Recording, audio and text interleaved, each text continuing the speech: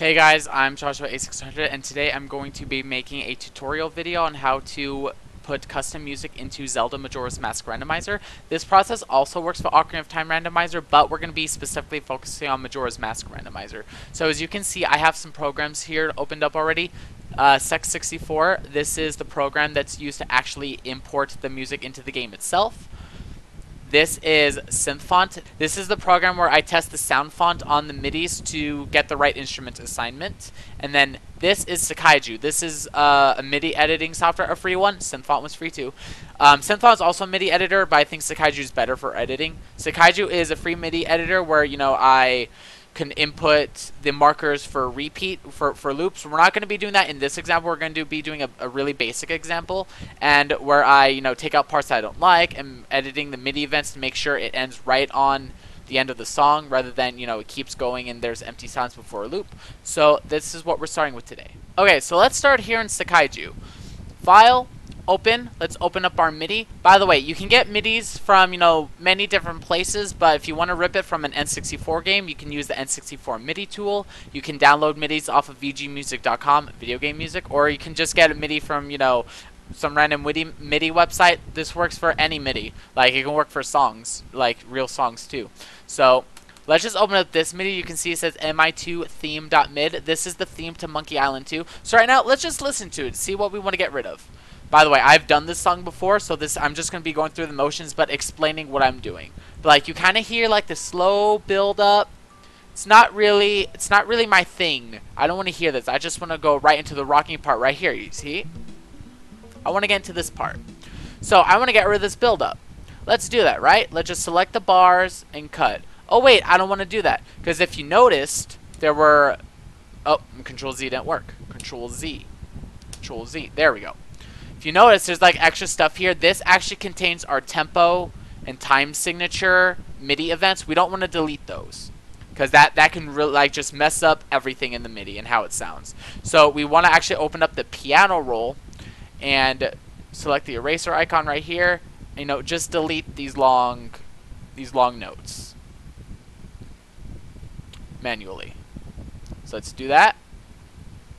So let's uh, go back to the track window. So, to, and to get it starting at the beginning, we can just do this. Then now we uh, take it and drag it. So, we go back to the beginning. See how it instantly starts at the rocking part now. So this is good. So let me explain looping really fast. I'm not going to go too much into it, but you see like this se section one here? This would basically be, okay, if I wanted it to loop starting from this section one, you would just right click, insert marker, you would you would have to title it section 1. That's what Seq64 looks for with the capital S and the number 1. Don't ask me why. That's just what it looks for. But yeah, we're not going to so we're just that's all I'm going to say about that. You can find more information in ISHJ's guide on his wiki uh, in Majora's Mask Randomizer. So so this song is good. Now, however, let's go to the ending. Where exactly do I want it to go until and how much I want to hear before it loops back to the beginning? Okay. Three bars is a little, three bars of drums is a little bit too much for me. Two bars is good. Like, it's a good thing. Let's just delete this, um, this last bar right here. Okay. Good, right? It's going to loop right at the beginning now because we just deleted that, right? Let's see. Nope. It has that empty bar. So how do we fix that? Simple. Do you see how this, the last note here is in the end of bar 37? Open up your MIDI events. Scroll all the way down. Take the the last thing at the that's ended the bar 37 and just replace the times my phone is making an alarm, which is great. okay, so you just make sure the the end of track and MIDI events match up right match up at the end of the bar. So it instantly loops. So let's listen to that now. Play. Perfect. So let's let's save it as Monkey Island theme 2 edited. Okay, so see you in the next part in SynthFont. Okay, here we are in SynthFont. Like I said, this is the software I use to assign instruments using a sound font, basically. So let's just open up our MIDI file. let's navigate to it. So here it is, Monkey Island Theme 2 edited. So you'll notice, first let's load our sound font. You click the sound font file up here, and then you just navigate to your folder to where your SF2 file is. Perfect. So You'll notice something that this happens a lot when you use a uh, SynthFont. Things automatically get assigned to Piccolo at first when you when you load a Majora's Mask sound font. That's just how it is, but it doesn't matter because we can instantly change it as we listen to it. So let's just listen to it without assigning in any instruments.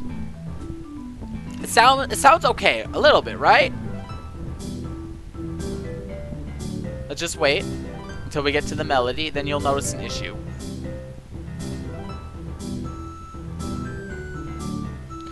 The melody is there, but then the background is a little bit, it's being overpowered, right?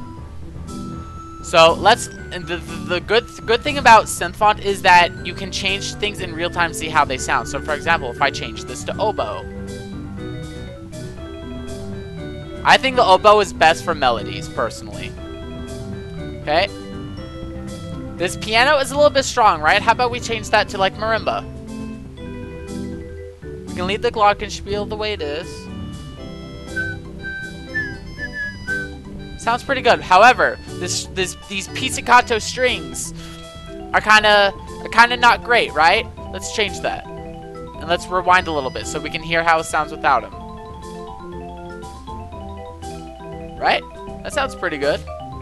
This horn sounds good already, but let's see what happens if we change that to trumpet.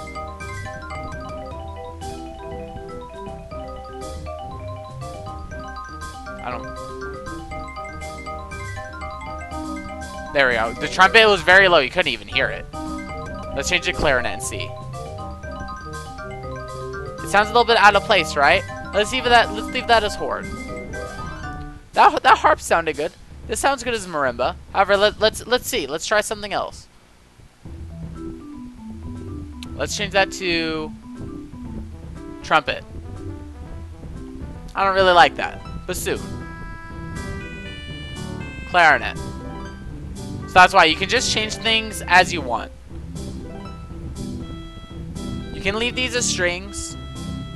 That's why you can you can leave it as anything you want. So I think this sounds good. This actually is the like the arrangement I already had.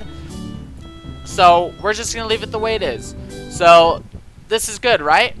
So however, like I said, this is a MIDI editor. We're basically using SynthFont as reference. Um, that you can edit in this. I don't feel the need to. We're just going to be using this as reference. So, now that we have our instant instrument assignment, by the way, you can save the arrangement. You can't do it when you're in the middle of a playback. But you can save the arrangement, so if you close it and reopen up the MIDI, it will automatically keep your instrument assignment. Okay, so that was SynthFont. Let's head over to Seq64. Okay, so let's recap so far what, what we have done. We've edited our MIDI in Sekaiju, and we figured out our instrument assignment in SynthFont. So, now here's like the more complicated part is actually importing it into the game using Seq64. So we see I have it open here. And I also have SynthFont open still because we're going to need to use it as reference. So the first thing you want to do is load your ROM description file. Here it is. And then updated ROM description. You can find a download link to uh, an updated ROM description file using ICHJ's link and his guide. We're also going to need to load our decompressed Majora's Mask ROM to actually put it into the game and test it. So, and then let's import our MIDI. Monkey Island Theme 2 edited. So, let's go over to the audio sec tab. Basically, this is where all the magic happens.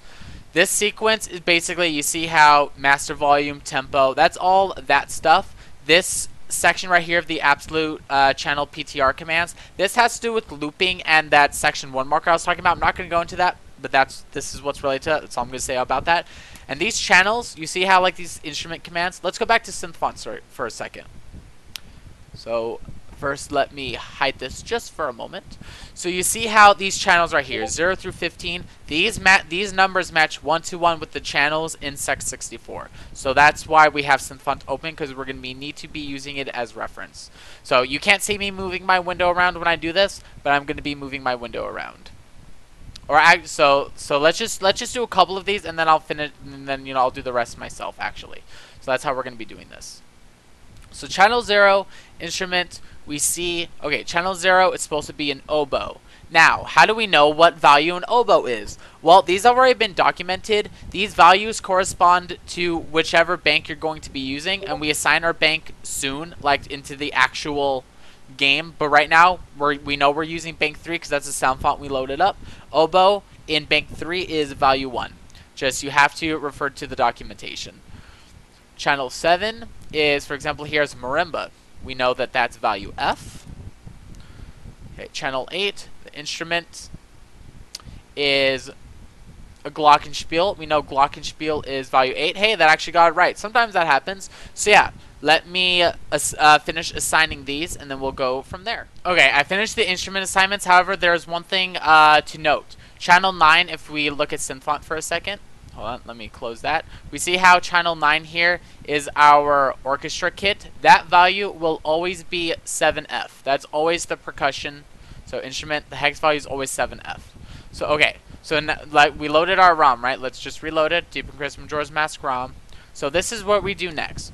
So we go to the AudioSeq index. We're going to be replacing, just for our purposes right now, uh, room number 18 file select because we because we, this isn't the randomizer. We don't want to play through the entire first cycle to get to Clocktown for example. So the easiest way to do it is put it on file select. Sequence banks, here you see the default here is Fairies Font. We're setting that to bank 3 main orchestra.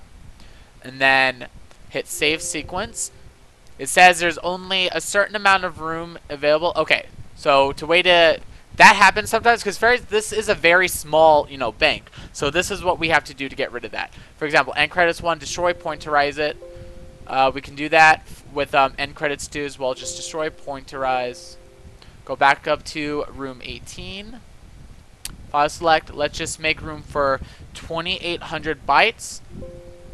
And success because 2,800 is the largest file size that can be assigned. So see now it actually lets us save it. So after we do that, we sign it. Now we also have to hit ROM save. So cool. So we now we actually put it into our ROM. Now let's ho head over to the game and see how it sounds. Okay, so here we are in Majora's Mask. Let's just go to file select. And then you hear a song. And then that's it. That's how you do it.